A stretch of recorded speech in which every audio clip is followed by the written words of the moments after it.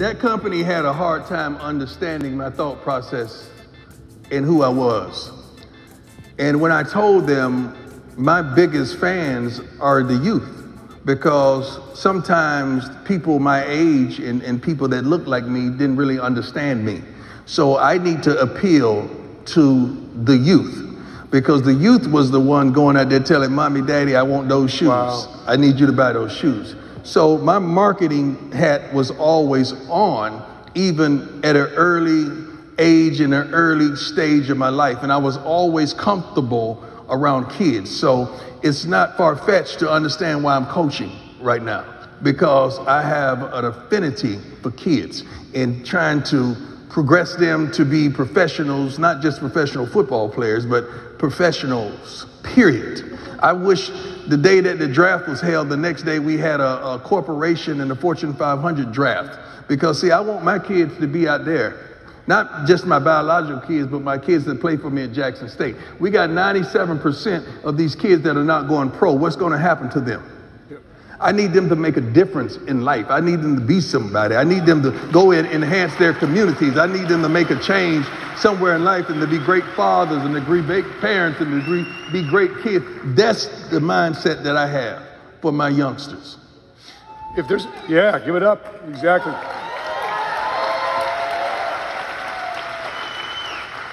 If they're athletes right now, if they're athletes right now, whatever sport, and you like their example on the field and also off the field, and these are your kids, who would you tell them to watch?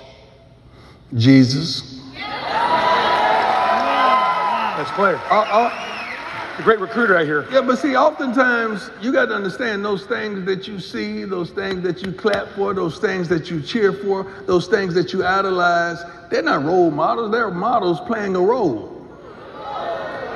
You don't you don't know who they are. You just saw them doing what they're gifted and blessed to do for two hours of the day. Could you imagine if the world got an opportunity to see you at your best for two hours a day, how your, your profile would just be enhanced, everything would be wonderful, everything would be so different because we're showing you for two hours doing what you're gifted to do. But what happens to the other 22? See, that's where the problem occurs. That's where the trappings of life Yeah.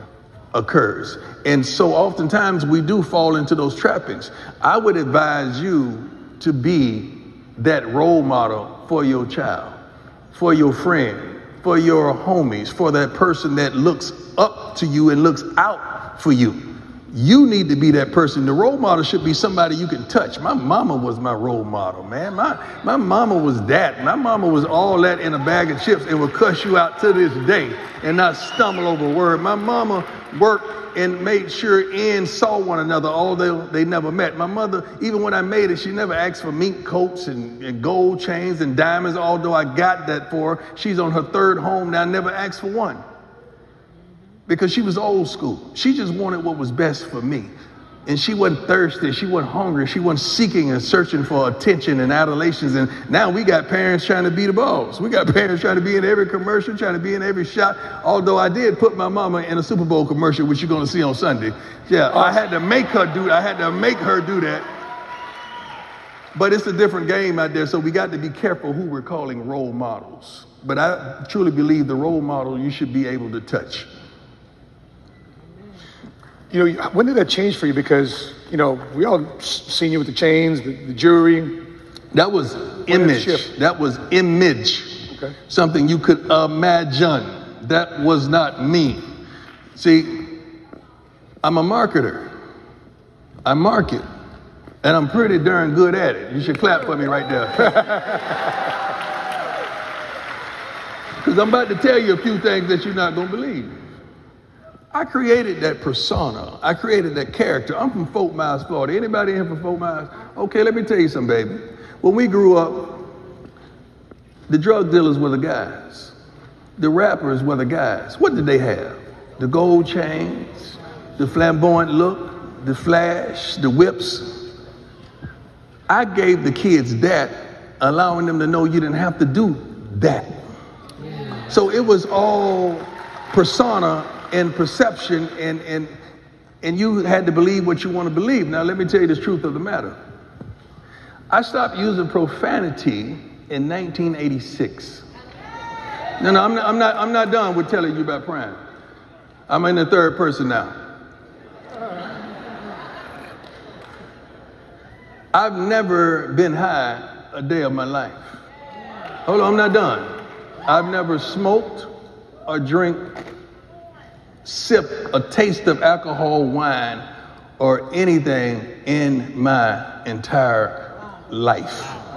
So, all the stupid and the foolish and the idiotic things out there that I did, I just did that, all right? I was not under the influence, but that was really me, all right?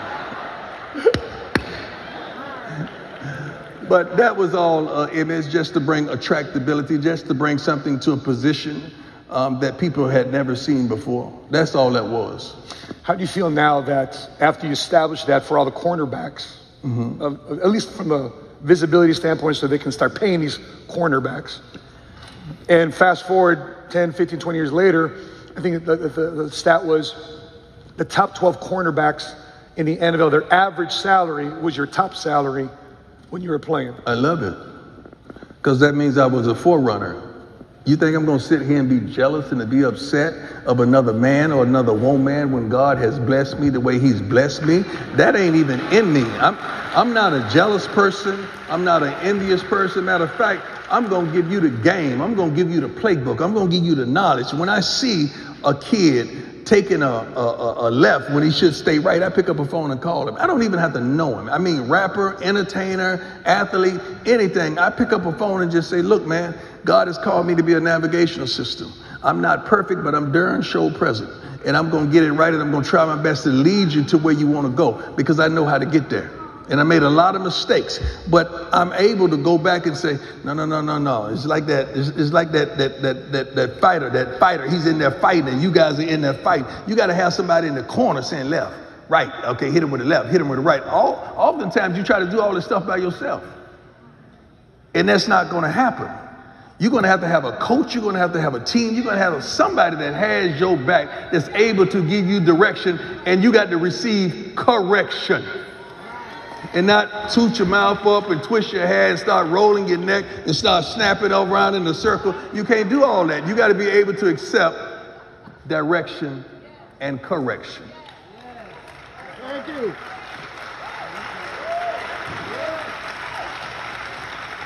We'll go back to the kids right quick because I'm just curious. How, do, how have you raised them to be competitive and how do they move up or, and or down on your daddy leader bulletin? Say that again. Yeah, how do they move up and down daddy's leader's bullet? Oh, they got to do stuff for daddy. That's how they move up and down. They got, they got, I, I they, got, they, got, they uh, got, no, no Christmas gift. They got me nothing for Christmas, but they expect something. You know, I, I really say, I, when they come over, I really say, y'all got to go back to the car and go ahead and get that because I know you didn't walk in here empty handed with expectation. Uh, and, but they do. My, my son's birthday was yesterday, and I said, Happy birthday, son. I'm going to get you just what you got me. Nothing, all right? But I got a whole lot of wisdom and understanding for you. I don't want that, Daddy. Okay? Uh, give me that first part of that question. Yeah, and, and how, do you, how do you stoke competition amongst your children and, and, and not have that my, sibling rivalry where it's My kids are very competitive and uh, they're very active because of what they've seen. I've, I've shown them things. So you got to be careful. Athletes have to be careful of this, and early retirees have to be careful of this when you're retired and you are doing nothing to help the country, to help the community, to help anything. You're just sitting there on a stack of money, just laid back, and your kid's going to assess that and say, Well, my daddy ain't done nothing because they didn't see me in my prime. Hmm. So I got to create life and have them to understand that no, no, no, daddy gets up and works out in the morning. No, daddy is sweating by the time you get up. Daddy's already eating breakfast and he's ready for the day. Daddy's on Zoom calls. He's making it happen. Daddy's fore, thoughtful. He's, he's really th- seeing things in the future that's trying to make sure it happen. Daddy is bringing people together. He's bringing unity and provoking change. They had to see all that stuff for themselves and then get in where they fit in. So now that they could see some of my attributes, now they could adopt some of them. They're not going to adopt all of them. Quit getting to the situation where you think your kids are going to be you. It ain't but one you. And you should be thankful it ain't but one you. It'll never be another you. That attitude you got, we don't want that, okay? That tardiness you got, no, no, nobody want that. But all those true qualities, yeah, you could have all that thing, but those things, but it's only one you. And I don't expect from my kids what I would do. I used to, and I got my little feelings hurt. If I expect that they're going to do this uh, because I would have done that, I'm going to get my little feelings hurt because they got to learn for themselves. But it's up to you to be that cut man in the corner. And It is up to you to be that navigational system for them without bashing them or belittling them. One thing that I've learned with my team, and I've learned this a long time ago in coaching, I exude love, my man. I, I exude love in all its attributes in all its components. Then I've learned how to listen. I got love, I exude that, I give that. Then I sit back, I learn how to listen. Okay? Then I'm a straight leader, love, listen, and I lead. And then I forgot my other L. It's going to come to me in a minute. it's Let not go. laugh. I, I, I, laugh. It's, it's laugh. laugh. That was a good one. It'll come to me in a minute. My mind is way down the street right now. when, when you're looking at um, when you're looking at your career, I'm sure in addition to your victories and success, your championships, you also had tough and difficult losses. Yes. What is the loss that comes out to you right now? It's probably one of your toughest losses in your career, whether uh, baseball or football. My money in divorce court twice. Okay. Football and baseball, divorce. Probably, probably my toughest loss. It was a tough fault case, but you know, I lost some. Man, God gave it back to me in the end. But no, no, no, straight up, straight up. Honestly, that was my toughest loss. Just, just going through the nonsense of, of life, understanding that um, someone you lay with, you produce children with, is going to come out to be a darn war about something you worked your butt off for, and that's traumatic. But guess what? Sooner or later, you got to wipe your tears, put on a new suit, take a good shower, and get back out there and go get it. Okay? It's, it's a lot of you right now. You need to thank God that He left. You need to thank God that she played you. You need to thank God that they did you that way. You need to thank God that they walked the way. You need to thank God that you got strong enough where you finally said, No, you ain't doing me like that no more. And you need to thank God that it happened because if it hadn't happened, you wouldn't be as strong. You wouldn't be as tough. You wouldn't be as resilient. You wouldn't be as provocative as you are now. So some things we got to thank God for because God is trying to move that out the way so he can usher in and blessing you to a whole new beginning.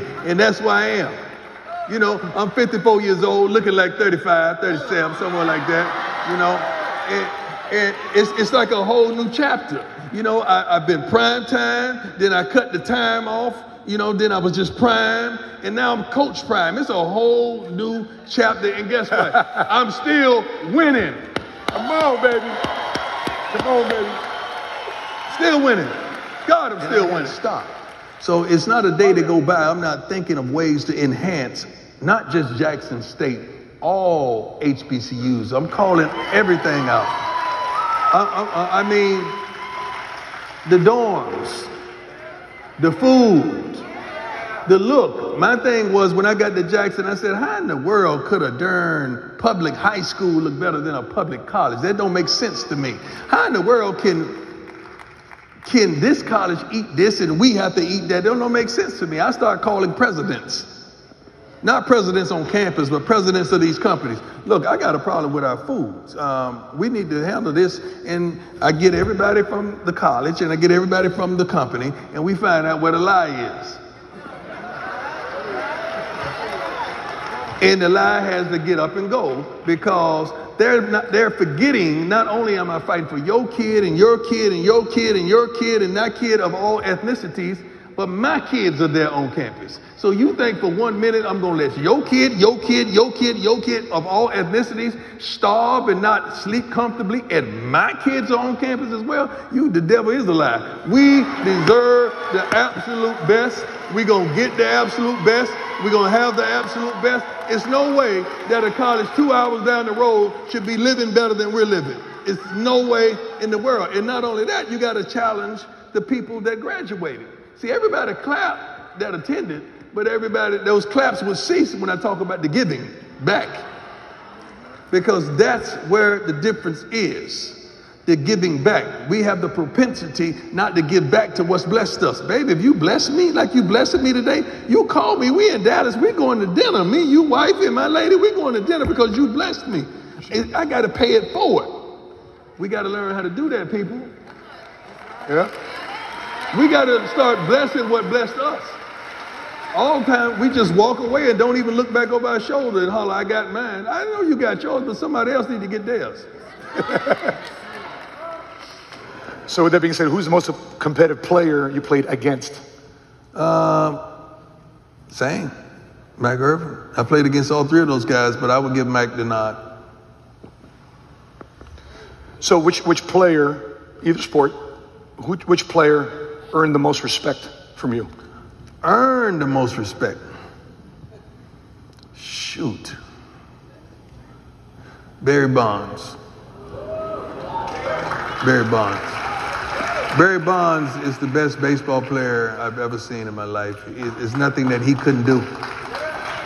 And it's an atrocity what they're doing with him with the Hall of Fame. That's an atrocity that I don't understand that. But Barry Bonds, even before any steroid accusations, he had three MVPs at home on the shelf.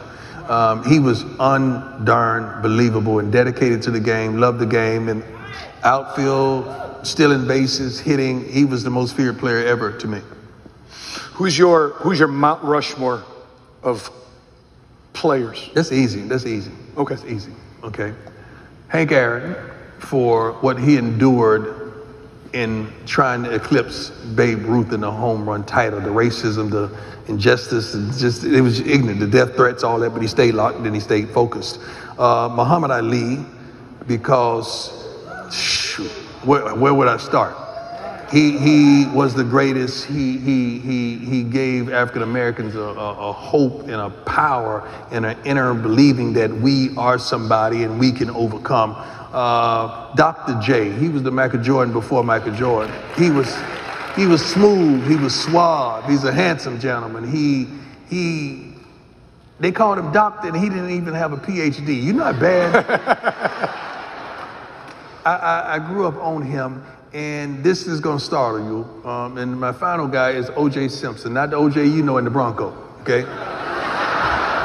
the other O.J. that I grew up on. I had juice mobiles when I was a kid, there was these shoes that Spot-Bilt made. OJ was so suave and OJ was so so beloved by both ethnicity, all ethnicities, I'm sorry.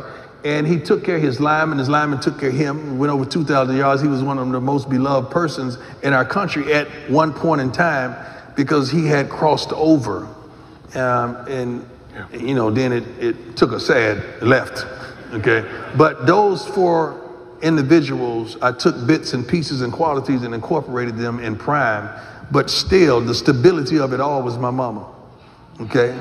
So she was the underlining of it all. So I could take that, but still, that's who I could touch every day. That's who I saw every day.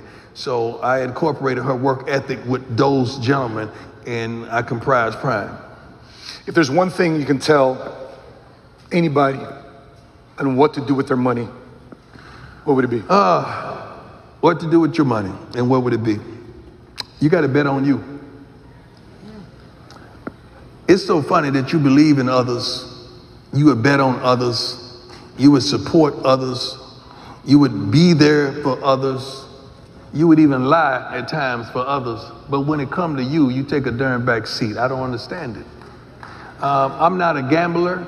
I don't play with money of that nature. When I go to casinos, I don't even frequent down there. They don't even give me free rooms because they know I ain't spending no money. Okay? but every now and then, I go put about $100 on 21 black. That's just an analogy. He got it, you didn't. That just meaning, that was my numbers, ladies, in football. That just means I'm to bet on me. I said, but I really came from Fort Myers then. I said, I'm going to bet on me. I'm going to believe in me. because I know what I got inside me. I'm going to bet on me, regardless of what you think. I'm going to be there for me, regardless if you there or not.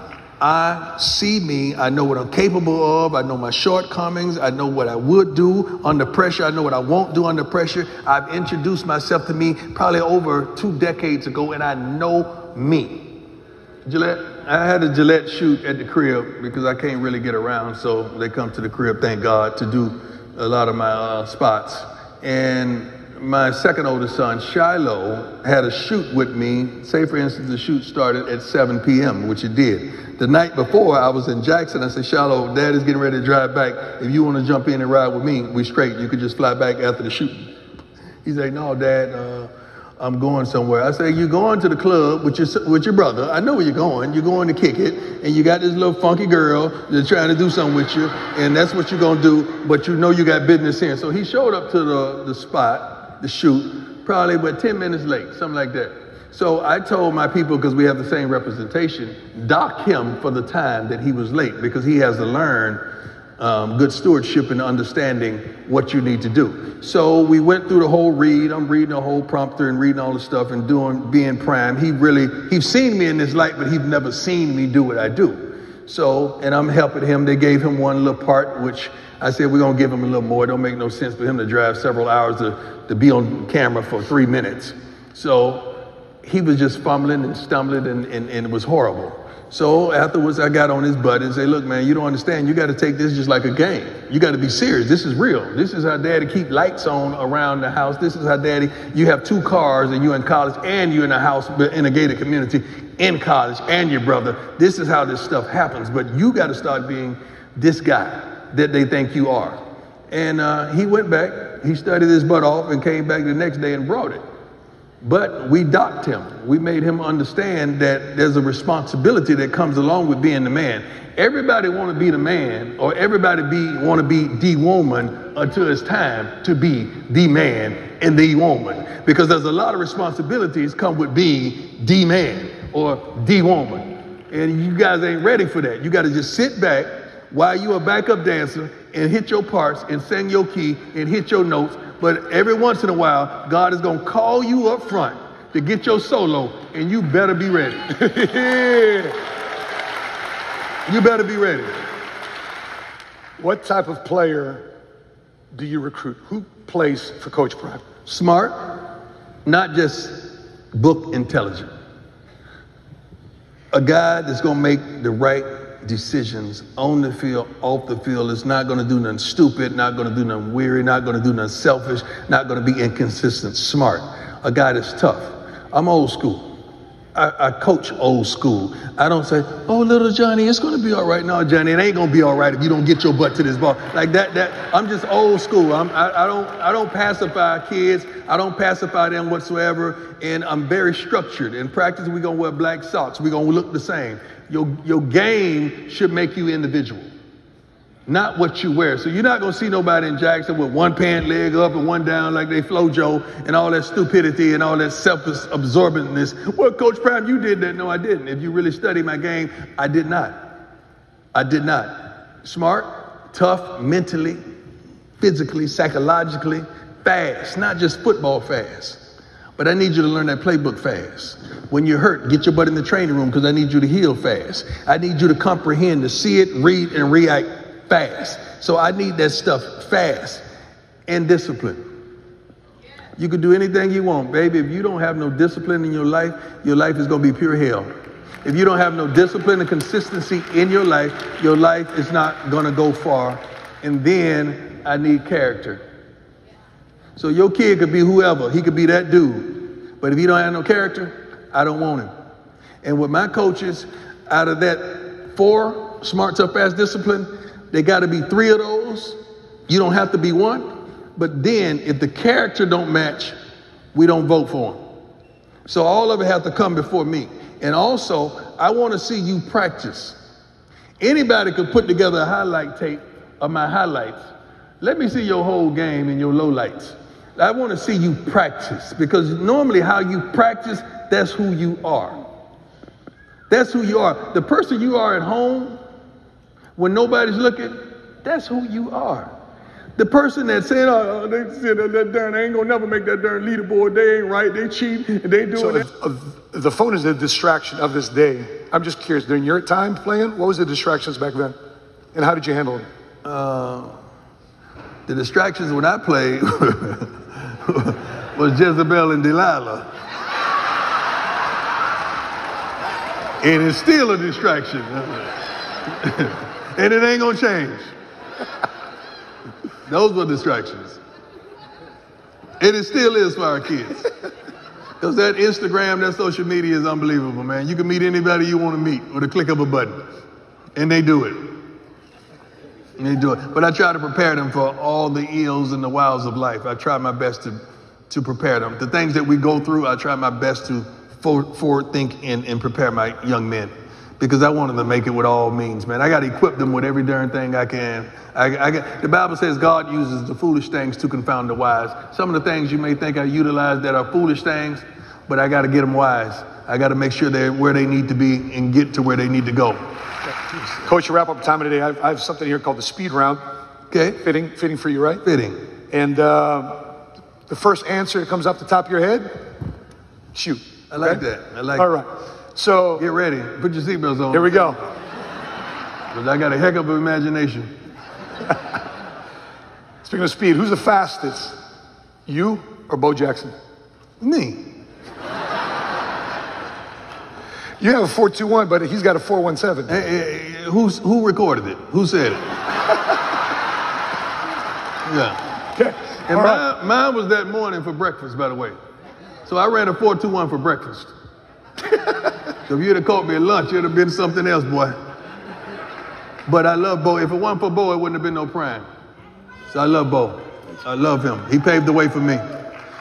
By the way, Vic and Anna, we got Vic and Anna, they unknowingly leased an office space, and guess who's on the first floor? Bo Jackson. Bo is? Yeah, You joking? Selling meat.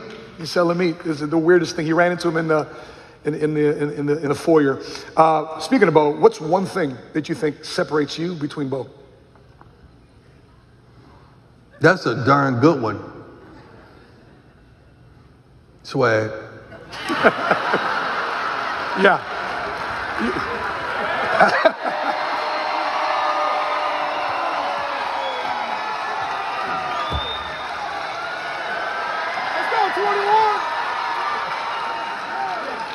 Tell Bo to do that. Oh, that's that swag, baby. Give me some dab by that, baby. um, when you guys actually ended up playing football against each other, We got played, the best we played in college. We didn't play in pros. In college, I was a freshman at Florida State. Started, by the way, playing against Auburn and Bo Jackson, and, and, and Bo was Bo. Bo was Bo. Um, I can remember this play like it was yesterday, man. They, they were in that affirmation or whatever, and it was a timeout, TV timeout. And coming off the timeout, he went to the crowd and like got him up. I said, "Oh Lord Jesus," because I know he was getting the ball. When you start doing telltale, this is like a receiver runs out the huddle fast. I know you're getting the ball because you're running out the huddle fast. Other than that, you jog because you're mad because they're running play. So I understand. And I was playing left corner, and the, it was a sweep to his left, away from me. And Bo broke, ran over three, four people, and I went and got him. Ran up on him like a Lamborghini. And when I got there, Bo put his hand on my helmet and prayed for me. He said, I just want this guy to be great in the name of Jesus. And pushed me on down, and guess what? I was great.